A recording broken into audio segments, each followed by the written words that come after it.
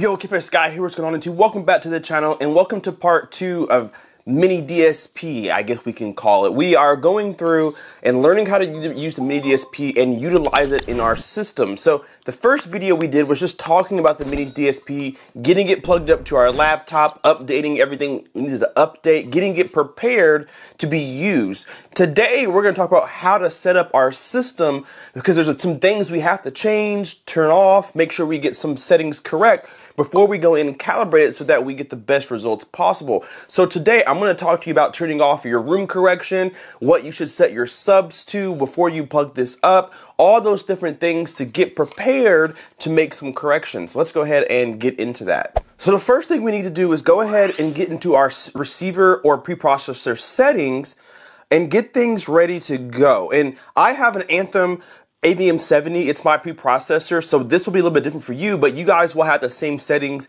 inside your Anthem AVM receivers or your Yamahas, your Marantz, your Denons, you'll all have the same settings. So you want to go into your receiver and look for these settings and turn things on or off. I actually have the ability to control my entire system with my phone because Anthem has an app. So you want to find these settings in your respective gear. All right, guys, so the first thing we want to do is go into our receiver and change a few settings. And what we want to do first is go to your respective system's crossover settings where you can change the crossover for your speakers. You want to go into there. Now, Anthem has an app for me, so I can control my entire Anthem system with this app here. So I'll pop it up on screen for you guys so you can see where my settings are. But in your Marantz, Denon, Yamaha, Pioneer, you guys have the same settings. So go to where they are and do these same changes. The first thing you want to do is go to where your crossover is at. Mine is in setup menu, down to speakers, and then I can click on my profile here and you want to find where you can change your crossovers. We want to change our front crossover to as high as we can go. So I'm going to go to the front crossover. I have it on 50 right now. We're going to change that to as high as it can go, which is 200 hertz.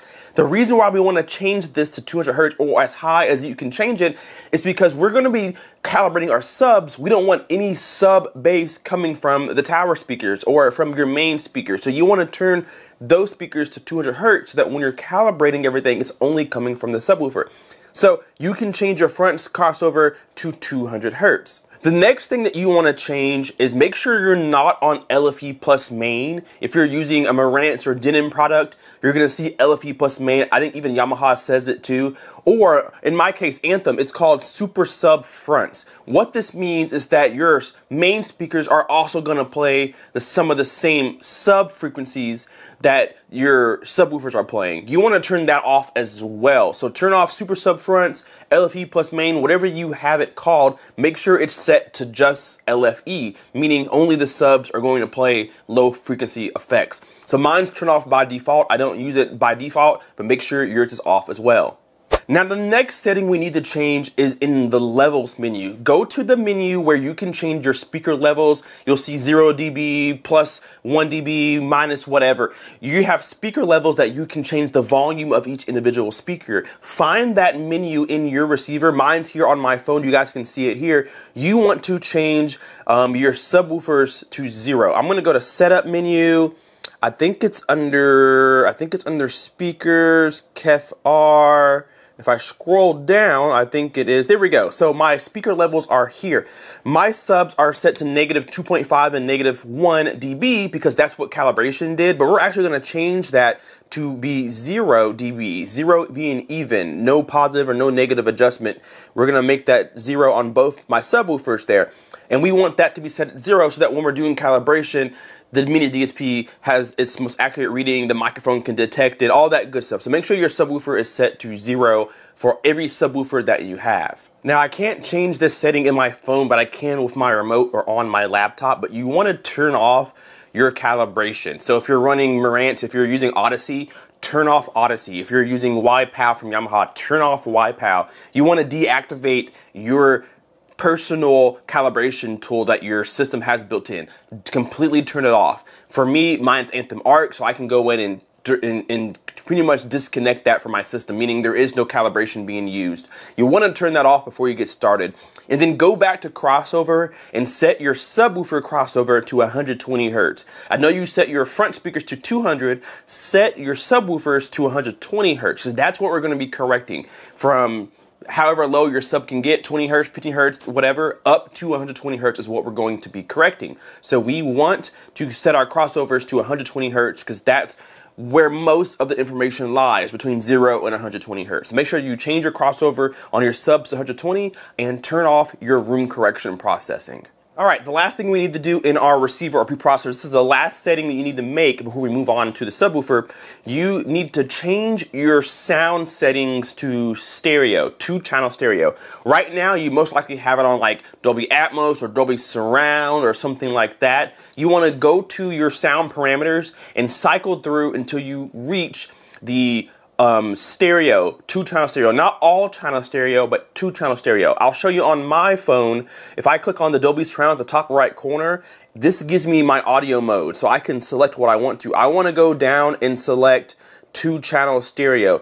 Now you see in my settings, I don't have it here, but I can go into my computer and I can select two channel stereo, or I can just turn off all of my speakers. If I go to settings, setup menu, if I go to speakers, and then KEF R, I can go through and turn off my center, my surround, and my um, Atmos speakers. Now, only thing that's hooked up is my sub and my front speakers. That's the only two that will be making any sound. So make sure you change it to all, to, to change your speakers to two channel stereo, cross over your subs at 120 hertz, cross over your two front speakers at 200 hertz or higher, Make sure that you turn off your room correction and then you're pretty much set up to start using the DSP. Go ahead and grab your laptop or your PC, plug in your DSP, and now we're ready to get ready to make some changes. All right, we are now done with changing settings in your preprocessor for the most part, or your receiver. Now we want to make sure our subs themselves are set correctly. On your sub, if you're using an active subwoofer, meaning it has an, a plate amp on the back, you're going to want to change some settings too. So if you went into your receiver and changed your crossover on your subwoofer to 120, you need to make sure that on the back of your subwoofer, you've also had it set to LFE or its highest setting. So on the back of your plate amp, there is a crossover dial turn that all the way up to 120 hertz, LFE, whatever it is that you have on there. Make sure it's pretty high um, because you want all the frequencies to come through so that we can correct as many changes as we can. So go to the back of your sub, find your plate amp, find the crossover dial, and turn it up pretty much as high as it can go. Most subs also go to about 200 hertz, 180 hertz, maybe 160. Turn it all the way up. You may see LFE, turn it all the way up to LFE. Just make sure that it's as high as possible. Me personally, I have a phase option. If I go to settings here, setup menu, um, speakers, KEF R, if I go down to my subwoofer section, I have the ability to change my phase frequency and that's what it means as well. My crossover, and I can change my phase as well. You want to change your phase to normal. You may have a phase switch. It may say zero or 180 degrees, change it to zero on all of your subs, and then we'll work on getting that correct later. Um, if you have more than one sub, it's probably best to play with this. I have some phase videos already on my channel about how to pick the right phase, so definitely take a look at that. But change all your polarities to normal or zero. Not zero on 180, keep it on zero, let your um, calibration do the figuring out. So change your crossover on your sub to 120 or higher. All right, so now we have our sub set up and we have our receiver slash preprocessor set up. The settings are good. If you've made these changes now, then you are ready to get into Room EQ Wizard and your Mini DSP 2x4 HD. So go ahead and have that plugged up now if you don't already, because what we need to do next is level match or gain match our subs. And real briefly, I'll tell you what the what that means and what the differences are between the two. So me personally, I've taught you guys on previous videos how to level match your speakers. You take a microphone, which you can use Room EQ Wizard and Mini DSP to do this, or if you have a dedicated microphone, actually let me walk off camera and I'm gonna grab my microphone for you guys. This is my microphone here that, let me turn the light on so you guys can see this has the ability to read the decibels in the room. So I can put it in my listening position and play a pink noise that comes out of your sub and you want to level match them, meaning you want to get this to read about 75 dBs on all your subs. So if you go into the mini DSP and play a test tone, or if you go to Room EQ Wizard and play a test tone, it'll uh, give a pink noise in the system through your subs, you want to turn up the volume or turn down the volume until you see each sub reach 75 dB in your listening position. That is level matching, meaning all of your subs are reading 75 dB in your listening position. Not all subs playing 75 dB, but when it reaches where you sit, it reads 75 dB. So you can level match it, making sure that all your subs have the same volume where you sit. Now, a lot of people rather gain match, meaning that all of your subs are playing the same uh, decibel level even if it's not the same at your seat. So for example, I have a sub in the front of the room and I have a sub right here next to me in the back of the room. And you want to take your microphone and put the microphone maybe one meter away from the sub and you want to turn it up or down until it reaches 75 dB and then go to the back sub here, put it about a meter away and measure it try to get 75 dB again. Now, when you sit here, they both won't be 75 dB, but they are both playing 75 dB. And some people like to gain match better because no sub is working harder than the other. You may like this better. The benefit of gain matching instead of level matching is that when you're sitting here, um, not only are all subs playing the same, you know, volume level, so no sub is working harder than the other, assuming both subs are the same you also have a better chance of calibrating them um, and getting them to work in tangent with each, with each other because they are playing the same volume, the same frequencies at the same pace, at the same rate, right? So no sub is giving more or less power than the other. So you may like that better to calibrate with, or you may want to make sure that they're both playing 75 dB in your spot one may be working harder than the other. So make that choice for yourself, but nonetheless, make sure your subs read 75 dB, whether you gain match or you level match. All right, so we have set up our preprocessor or receiver. We have our sub settings correct on the physical subs themselves. We now want to go ahead, if we haven't already, plug in our DSP to our laptop or PC. Mine is plugged up. You also want to make sure you have an HDMI cord going from your laptop or PC to your receiver or preprocessor because that's how we're going to get the test tones and sweeps to come through our system is via HDMI. So make sure you have an HDMI plugged up to your laptop, PC, going to one of the HDMI inputs of your receiver and then of course change, turn to that input. So here on the screen, I'll full screen it for you guys. This is the Mini DSP204 HD's interface. It has changed over the years, so it may not look the same as what you are may used to be seeing, or maybe this is the first time you've had it. So we've already walked through getting the software downloaded, installed, getting drivers set up, everything in the first video. So if you haven't watched that, you'll need to do this first before you do this part because we've done that already. So now my device, my laptop knows that my mini DSP is here. So this is the software in which we're going to use to do a lot of different things with calibration. So you not only want to have this ready, but if we close it out, we also want to have Room EQ Wizard ready as well because this is what's going to show us those graphs, show us what's going on, and uh, what changes we may need to be making. Now, you do need a microphone if you have not purchased one already. A lot of people get the UMIK 1 that they pair with the Mini DSP. I, I, I actually have my own Anthem AVM 70 plugged up to this. The Anthem comes with a mic with its own uh, software. So I actually have that microphone plugged up to this device right now. So you want to download Room EQ Wizard REW as well. Make sure you install everything because this is what's going to give you the sound. This is what's going to do the sweeps, show you the grasps, uh, the graph, and, and all that good stuff. So let's go back to the mini DSP. We do need to set up a few things on here. Um, actually, let's go to Room EQ Wizard first because we want to do a couple things. The first thing you do when you pop into this software, you're going to have it say you need to run calibration so it gets uh, acclimated to your system, your microphone, everything. So the first thing you're going to want to do is go to Preferences at the top left corner here and you're on the sound card file here, the first tab, you want to make sure your driver is set to Java. If you don't have it to Java, you probably won't have any audio output. It may frustrate you. So have it to Java. Your output device is the receiver or processor you're using. It recognized my uh, AVM70 here because that's what I'm plugged up to via the HDMI. So select your receiver or preprocessor there and the input device is your microphone. What microphone are you using? It detected that I had an ARC microphone, so that's what I'm using as well.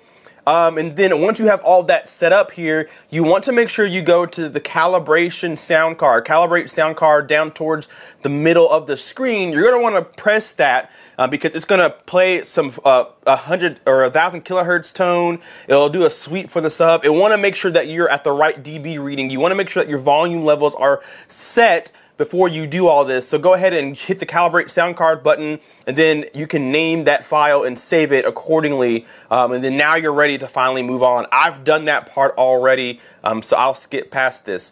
Now, let's go back to the DSP because there were some things you need to change as well. So you have four outputs, one in or two inputs, one output.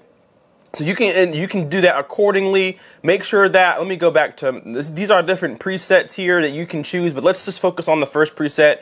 Right here at the top corner, you have output one, two, three, and four. Um, if they're not green, then they're not active. So you can click on these and turn these outputs off. So depending on how many subwoofers you're using decides how many you need. So output one is on and output two is on because I have two subwoofers. If you have three, then you want output three. You can even turn in, turn off these inputs or change these inputs, all that good stuff. Now, I'm not going to go through what PEQ and crossover and all this stuff means just yet. We're going to wait for the next video to do that, but you just want to get everything set up. And uh, last thing for sure is to go over to input source and make sure you select analog. If you don't select analog, you will not get any audio. Um, so make sure you have it set to analog so that when you do run your calibration, your frequency sweeps, all that stuff, you actually hear something. Otherwise, you won't. So at the top middle of Room EQ Wizard, you have an SPL meter. Now you don't want to use this SPL meter to measure your volume level. You want to use your own microphone. So it's really nice to have one. So you want to calibrate your system. I'm going to turn this on. Hopefully it's not too loud here not too loud. You guys probably can't hear that. My subwoofer is generating a tone, and the goal is to reach 75 dB. We discussed this in the previous clip. You need to have your microphone and get all your subs to read 75 dB. Now, you don't want to go off of this here. You don't want to go off of the SPL meter on Room EQ Wizard, you want to go off of the one on your microphone. So it is important to have a microphone, hit calibrate. Once you're done, you can save this file. Once you've done all the setting up in your DSP, you've done all the setting up in your Room EQ Wizard, you have realized that now your sound is coming through. It's all set to the volume level that's necessary. Now you can click on, I'll do it again so you guys can see it. You want to go to the top left corner of Rue and click measure. You're going to bring this screen up here where you can do different sweeps, change the length of it, but the goal is to now calibrate your system. You press the start button, it sends a sweep through your subs, and you are able to start calibrating. I'm just gonna go ahead and click on start. I had the volume down pretty low because I don't want it to be heard in the video or in the apartment, but it just did a sweep for my subwoofer for me now. I'm gonna hit okay. The volume level is too low. That's why it's saying this. Let me, but this is what we're gonna have. Once you do a sweep, you're going to start seeing some graphs, and this is where you start making your changes. But like I said, we're going to save this for a later video. Now we're getting into the actual calibration system. So if you haven't watched the first video setting it up, make sure you do that first. Once you've gone to that video, come back to this one and get your DSP and your receiver subwoofers set up. And then the next talk video, about, we'll talk about actually about making some changes and reading graphs, all that good stuff. So stay tuned for part three when we do that. Thank you guys so much for watching this video, and we will see you on and see you again in the next one. Kpaceguy out. Peace.